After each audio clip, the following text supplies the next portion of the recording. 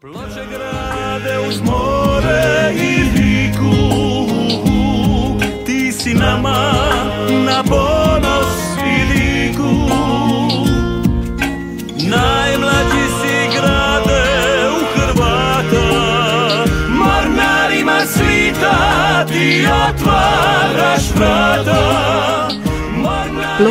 najmlađi grad na Mediteranu, imao je odlučujuću ulogu u najvažnijim događanjima posljednjih desetljeća na Južnom Jadranu. Tijekom drugog svjetskog rata, potrebe za boksitom, o čemu je ovisio njemački program zračnog oružja, Treći rah je pokušavao osigurati preko Luke Ploče.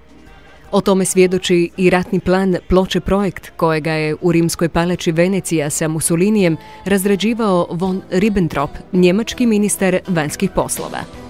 50 godina poslije, u Pločama je 14. rujna 1991. godine u veličanstvenoj akciji Zelena tabla Mala Bara osvojena prva neprijateljska vojarna u domovinskom ratu. Tom prigodom hrvatski branitelji došli su u posjed preko 5000 cijevi, oko 70 topova, nekoliko milijuna komada streljiva za pješadijsko naoružanje, velikih količina granata i mina, 120 raznih kamiona i druge vojne opreme i tehničkih sredstava. Osvojeno oružje presudno je utjecalo na obranu ne samo Dalmacije. U Pločanskom akvatoriju tih se dana odigrala prva pomorska bitka u domovinskom ratu. U gradu je osnovana prva ratna luka, prva postrojba mornaričko-desantnog pješaštva, prva domobranska satnija na Jadranu, a blagoslovljena je i prva vojarna u Hrvatskoj. Osim ovih činjenica, ploče su s još jednim datumom ušle u hrvatsku povijest. Naime, 18. listopada 1989. godine na blagdan Svetoga Luke u bačinskom restoranu Charlie osnovan je prvi općinski odbor Hrvatske demokratske zajednice u Hrvatskoj. Tom povijesnom skupu nazočila su petorica pločana, Velibor Kikerec, Luka Šiljeg, Vedran Sršen, Filip Šalinović. I Joško Damić, te gosti iz Metkovića i Zagreba, Luka Bebić, Josip Manolić i Perica Jurić. Evo, na rođendan naše stranke, nakon 25 godina, ponovo sam u Čarlija. Prepun emocija i lijepih uspomena. Sjete i sjećanja na dobre i drage ljude. Nakon hrvatske šutnje progovorio je HDZ. Zaista treba istaći da je HDZ stranka srca, stranka koja je nastala iz duše i srca hrvatskog naroda, koja je kao nitko do tada progovorila i osluhnula bilo hrvatskoga čovjeka. To je naprosto ritam srca. Sve je bilo zaista posve čisto. E, naš kredo bila je hrvatska sloboda, a na duši i na pameti bila je ona Matuševa krilatica, dok je srca bit će i Kroaciji. I ne bez sjete prisjećam se tih dana očito neponovljivog vremena zajedništva, prijateljstva, uzajamnosti, odanosti prije svega, hrabrosti, ali i vizije. Zaista povijesno vrijeme na razdjelnici svjetova. Prvi predsjednik HDZ-a Ploče bio je Velibor Kikerec, do predsjednik Vedran Sršen, tajnik Filip Šalinović, a blagajnik Radinko Medak. Niti jedan dnevni list nije htio objaviti tu vijest. Odvažila se samo Nedjeljna Dalmacija. Odmah je stigao ukor iz beogradske politike, u čijem je članku dva lica jedne Hrvatske pisalo – dok ogranku Tuđmanove Hrvatske demokratske zajednice, osnovanom 18. oktobra u Kardeljevu na nejavnom mestu, nije bio problem da celi svoj proglas objavi na udarnoj strani Nedeljne Dalmacije. Centralni komitet SKH naišao je na nezainteresovanost listova u Socijalističkoj Republici Hrvatskoj da objavi njegov temeljni dokument za kongres.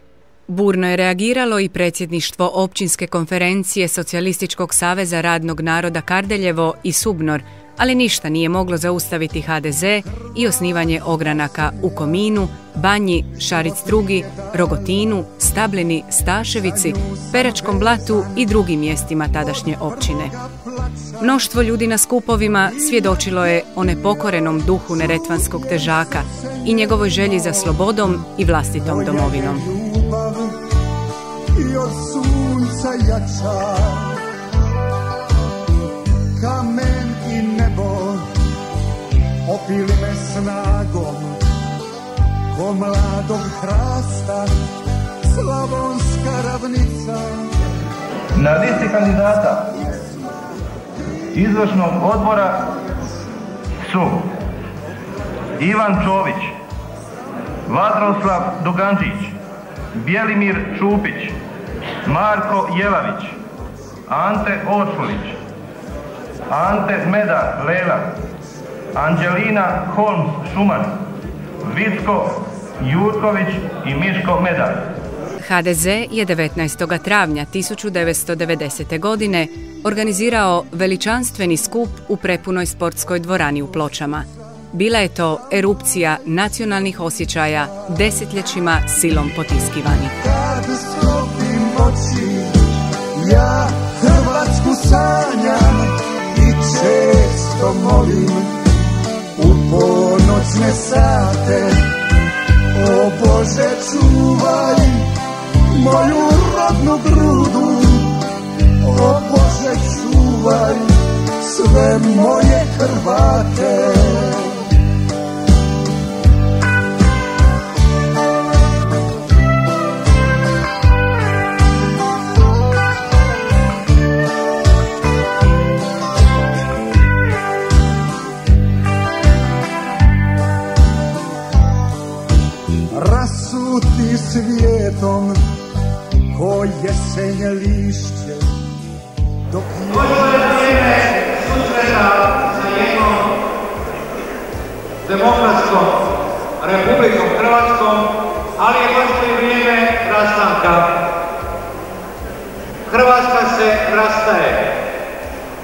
se danas ovdje počinjemo rastajati. Neki još i ne znaju da je to vrijeme rastanka konačno nastupilo. Rastajemo se, Hrvatska se rastaje od 22. sa istima onima sa kojima su se rastali Prag, Budimpešta, Berlin, Bukurešt i Sofija.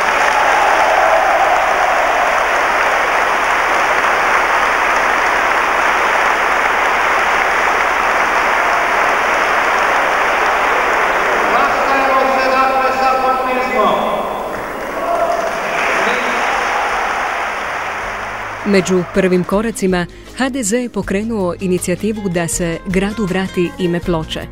U dopisu Skupštini općine Kardeljevo između ostalog stoji. U ovom izrazito hrvatskom kraju 45 godina se na umjetan način stvarala Jugoslavija u malom. Prepoznatljiva je to bila politika kojoj je parola bratstvo i jedinstvo služila za potiranje hrvatskog rodoljubnog osjećaja i interesa. Zato je i bilo potrebno ime Kardelja kad se zna njegova uloga u obračunu sa prvim rukovodstvom KPH pred rat, u obračunu s Krležom, te u smjenjivanju i likvidaciji Andrije Hebranga. Za preimenovanje 1980. godine znalo se za njegovu značajnu ulogu u obračunu sa općenarodnim htjenjima Hrvatskog proljeća 1971. godine. Kardeljevo ime je trebalo da bi se jasno kazalo i pločama i Hrvatskoj da će biti zatrto sve što kaziva o hrvatskom nacionalnom identitetu i interesima.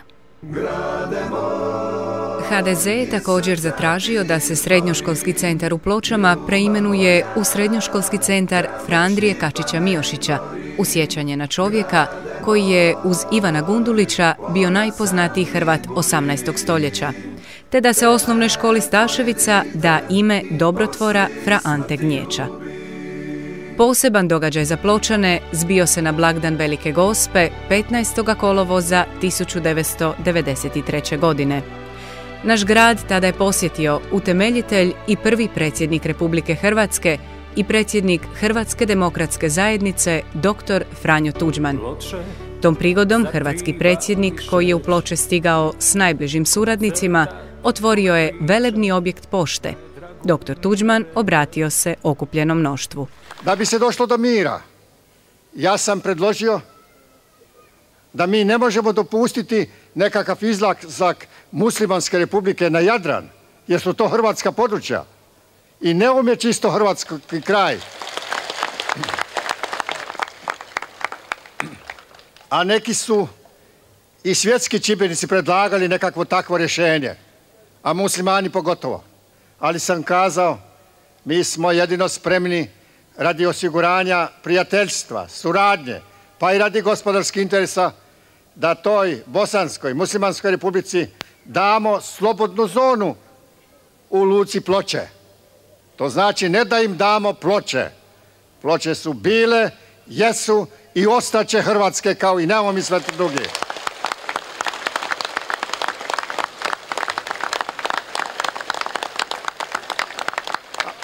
Ali neku slobodnu zonu pod Hrvatskom upravom u Luci Ploče možemo dati, ali sam isto tako zatražio da bi onda u tom slučaju i Hrvatska traži da ima pravo da kroz čitavu Bosnu željeznicom ima vezu iz Južne u, u sjevernu Hrvatsku, u, u Slavoniju. Rajska djemo, kraljice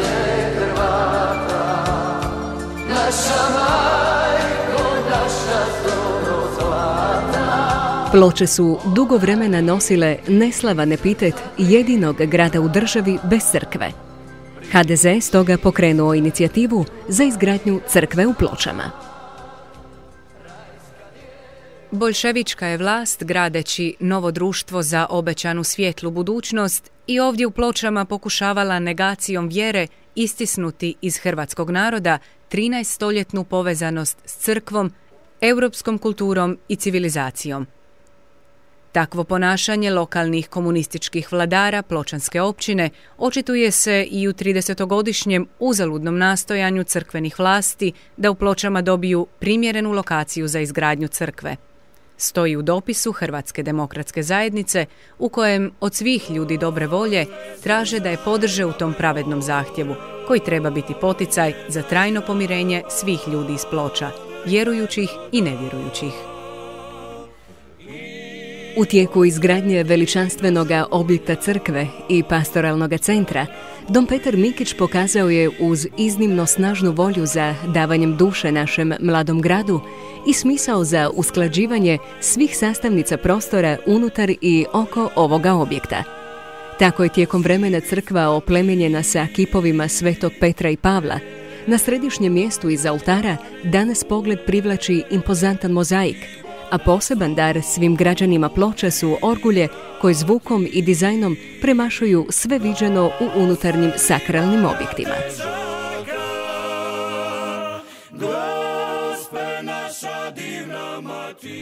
HDZ Ploče dao je prvoga tajnika Višestranačkog sabora Republike Hrvatske, gospodina Velibora Kikereca, jednog ministra u Tuđmanovoj vladi, gospodina Ivana Pavlovića, te četvoricu saborskih zastupnika, gospodu Filipa Šalinovića, Boška Šiljega, Vedrana Sršena i Luku Šiljega, koji je obnašao i dužnost Dubrovačko-neretvanskog dožupana i povjerenika vlade Republike Hrvatske za Dubrovačko-neretvansku županiju. U dva mandata dužnost gradonačelnika Ploča obnašao je gospodin Joško Damić. Dosadašnji predsjednici gradskog odbora HDZ-a bili su Velibor Kikerec, Boško Šiljeg, Vedran Sršen, Jerolim Vladimir, Joško Damić, Ante Dodik, Ivan Kotromanović i Krešimir Vejić. Nažalost, dvojica osnivača prvog hrvatskog HDZ-a, Velibor Kikerec i Luka Šiljeg, više nisu s nama. U oslobodilačkom ratu za Hrvatsku naša stranka sudjelovala je u iniciranju i ustroju dobrovoljačkih odreda narodne zaštite, od kojih je formirana i prva satnija pričuve Zbora Narodne garde. Ti su hrabri momci zajedno s pločanskim policajcima, Lučkom gardom i Metkovskim i drugim postrojbama uspješno izveli akciju Zelena tabla Mala bara 14. rujna 1991. godine. 18 godina nakon akcije, predsjednik Hrvatskog sabora, jedan od sudionika povijesnog skupa, Luka Bebić, svečano je otvorio spomenik poginulim braniteljima u Domovinskom ratu. Koliko HDZ cijeni žrtvu hrvatskih mladića u obrani domovine, dovoljno svjedoče riječi pokojnog Luke Šiljega. Naša zahvalnost i odanost pripadaju hrabrim hrvatskim braniteljima. Naša suza, ljubav i počast pripadaju junacima domovinskog rata koji su za neovisnost i slobodu Hrvatske dali svoje živote.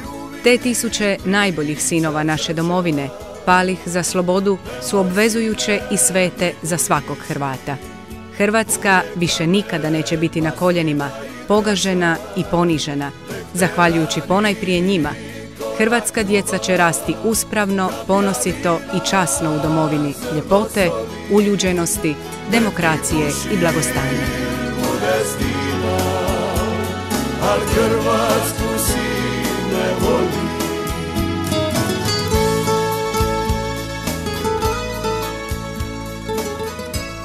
Nakon povijesnih 90. godina, Pločanski HDZ prelazi u oporbu u kojoj ostaje dugih osam godina. Na unutar stranačkim izborima 2008. godine novi predsjednik Hrvatske demokratske zajednice u Pločama postaje Krešimir Vejić. Dinamičnim pristupom Vejić uspjeva vratiti interes za stranački rad više istaknutih članova stranke u 90. godinama, no i revitalizirati stranku okupljanjem mlađih ljudi iz svih slojeva ploča i okolice na čvrstim temeljima poštivanja kršćanskih načela, središnje uloge obitelji i promocije napretka uz očuvanje narodne tradicije i identiteta. Pločani vrlo brzo prepoznaju rad novog predsjednika i njegovih suradnika uz poticanje razumijevanja i stvaranja partnerstva između stanovnika različitih naselja te oblikovanja novog i prepoznatljivog identiteta ove političke stranke na lokalnoj razini osigurava se za mnoge neočekivana pobjeda na lokalnim izborima 2009. godine. Krešimir Vejić postao je novi gradonačelnik Ploča, a zahvaljujući velikom doprinosu HDZ-a Ploča na izborima za područnu samoupravu, Nikola Dobroslavić izabran je za Dubrovačko-neretvanskog župana, a njegovom zamjenicom postala je naša pločanka Marija Vučković. Vrijeme je to snaženja rada mladeži Hrvatske demokratske zajednice i osnivanja gradske organizacije zajednice žena HDZ-a Katarina Zrinski, te bolje komunikacije sa stranačkom bazom u vidu aktivnijeg sudjelovanja svih temeljnih ogranaka HDZ-a ploča u radu stranke. Mladež HDZ-a svojim aktivnostima prepoznata je kao vrlo važna poluga u djelovanju stranke i promicanju ideja mlađe populacije, imajući krucijalnu ulogu u definiranju modernih smjerova razvoja pločanskog društva. Pločanska zajednica žena Katarina Zrinski pak ubrzo od svog osnivanja postaje jedna od najprimjećenijih zajednica u Dubrovačko-neretvanskoj županiji pa i šire, Akcije koje organizira, osobito one koje su povezane s novim načinima interpretacije našeg kulturnog identiteta, ostaju u trajnom pamćenju.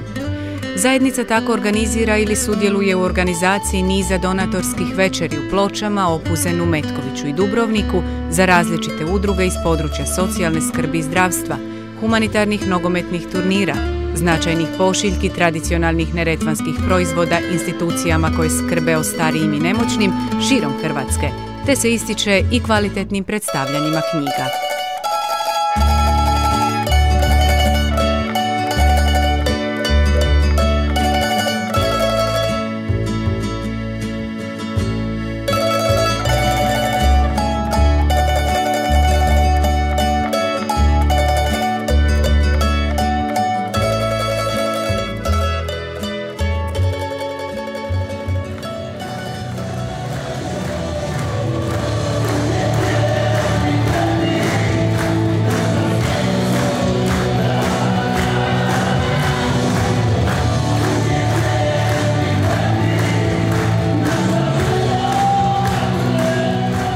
Kontinuitet rada stranke očituje se i u pobjedničkim izborima u tom periodu, one za mjesne odbore, zatim europarlamentarne, a posebice parlamentarne, s obzirom na vrlo teško i turbulentno vrijeme u kojem se nalazila cijela Hrvatska demokratska zajednica. Paralelno s političkim radom, koalicija HDZ, HSS, HSLS, usprkos teškoj gospodarskoj situaciji u Republici Hrvatskoj, uspjeva realizirati brojne projekte od vitalne važnosti za grad Ploče. U tom periodu ulažu se značajne sredstva u sportsku infrastrukturu glavnog i okolnih naselja, asfaltiraju brojne lokalne prometnice i rade veliki lokalni infrastrukturni cestovni projekti. Shvaćajući da je baština ono što nas sve duboko dotiče, a uvažavajući potrebe ravnomjernog razvoja svih gradskih naselja, obnavljaju se domovi kulture u većini naselja na području grada Ploča. Ploče postaju dom prvog dislociranog studija sveučilišta u Dubrovniku. Ulažu se značajna sredstva u opstanak i rade glazbene škole, uređenje najvažnije kulturne infrastrukture poput prostora Narodne knjižnice i Pučkog otvorenog učilišta. Ploče grade uz more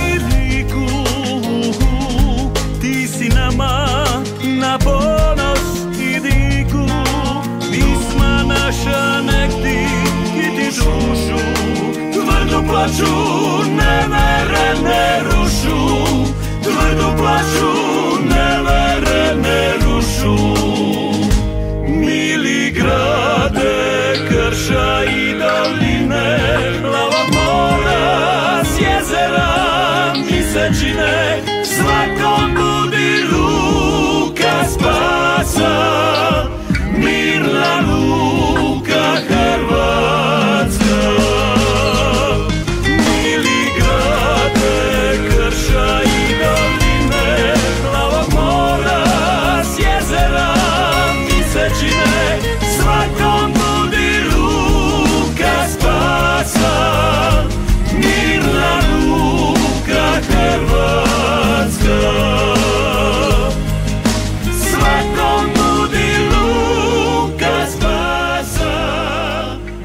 Na temelju ovih promišljanja i ovakvog izbornog programa ostvarena je triumfalna pobjeda na izborima 2013. godine.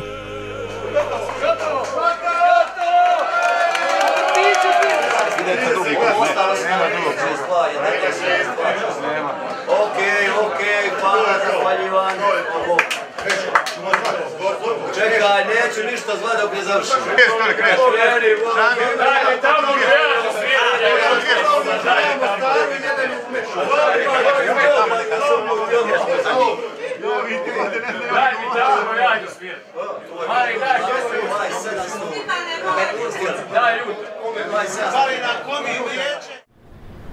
Doživjeli smo u tim periodima puno uspona i padova, e, svjesni da su rezultati do 2009. godine u pločama bili loši.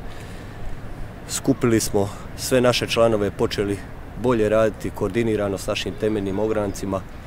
Formirali smo i oživili naše zajednice žena i mladeži i u dogovoru s temeljiteljima krenuli stvarati jednu pobjedničku ekipu u gradu Pločama. Slobodno mogu reći da je 2009. godina prekretnica u radu Hrvatske demokratske zajednice Ploča.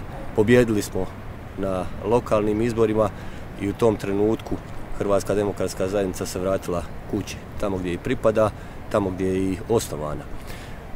Od tada na svim izborima kojima smo sudjelovali ostvarili smo značajne rezultate, a kruna tih izbornih rezultata bili su lokalni izbori 2013. godine kada smo e, s najvećim brojem glasova pobjedili u povijesti na području grada Ploča. Ovo je prilika da se zahvalimo i utemeljiteljima, da se zahvalimo svim našim članovima koji su nam u teškim vremenima bili potpora. 900 članova Hrvatske demokratske zajednice na području grada Ploča zaslužuju da ih se ovom prigodom pozdravi. Puno nam znače njihove sugestije, njihovi savjeti, puno nam znači u turbulentnim i u teškim trenucima njihova potpora i izuzetno sam radostan što sam predsjednik jedne takve organizacije. Organizacije Hrvatske demokratske zajednice gdje je ona osnovana u gradu Pločama, najveće političke organizacije u povijesti e, hrvatskog naroda. Ovim putem želim svim našim članovima čestitati naš rođendan, našu 25. obljetnicu s nadom da ćemo ovako uspješno surađivati u budućnosti i opravdati svoj rad rezultatima na budućim izborima. Da je brojno i požrtvovno članstvo koje dolazi iz svih slojeva hrvatskog društva HDZ-ova najveća prednost i snaga potvrđuju i riječi gradskog odbora stranke. Biti s vama dio prošlosti, živjeti i raditi u sadašnjosti, sanjati i stvarati novu budućnost s ljudima poput vas, ponos je, čast i zadovoljstvo. I vodstvo HDZ-a Ploča nije i neće nikad zaboraviti svoje članove i simpatizere, dušu i srce stranke. Vi ste ti koji su s nama proveli dane i noći kroz kampanje. Vi ste ti temelji stranke na kojima sadašnji, a i budući naraštaji grade vjeru i ljubav prema domovini. HDZ nisu samo tri slova na papiru. HDZ činite vi svojim radom po temeljnim ograncima, svojom aktivnošću na svim poljima javnog i društvenog života.